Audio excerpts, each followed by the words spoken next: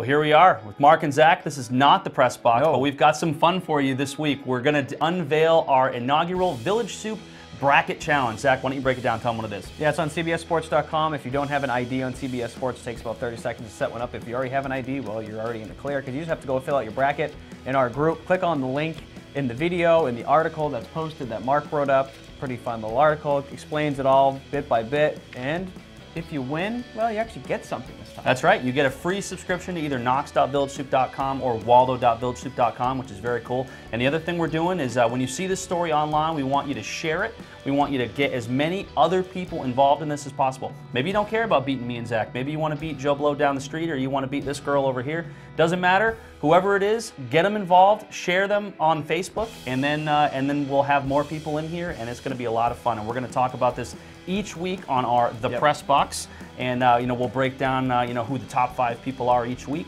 And uh, after the national championship game, we'll find out who the winner is, and you get a free subscription to Knox.villagesoup or Waldo.villagesoup.com. For a whole year, too. That's right. That's right. So, uh, so we encourage all of you guys to sign up as quick as you can, and uh, and we'll see you out there. See you uh, on the court. That's right. We'll see you in the brackets. Make sure to sign up before Thursday at noon because the first game I think is at 12:10. I can't wait for Thursday. I know Like, it's it's- be it's so the best part of Thursday the and. Friday. Ah, it's this whole be- this whole next couple days are gonna be fun. So I hope to beat you. You probably hope to beat me and Mark, but it'll be fun. We look forward to it. We'll see you in a few days on the press box, and we'll see you out there on the courts.